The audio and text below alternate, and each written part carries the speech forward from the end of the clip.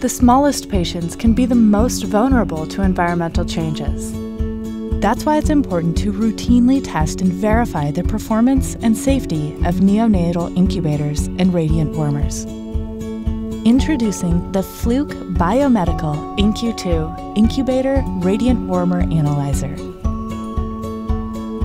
Intuitive and easy to use, the INCU II can simultaneously measure relative humidity, airflow, sound, and six independent temperature points. Its color-coded probes make it easy to switch between sensors for testing temperature in an incubator or the five pucks for verifying the environment of a radiant warmer.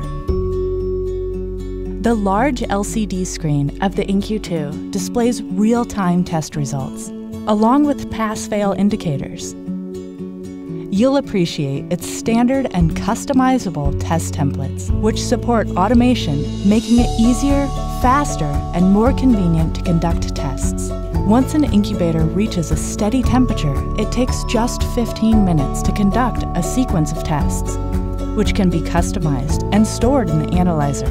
Using its wireless functionality, test data can be sent and monitored from your computer, further increasing efficiency.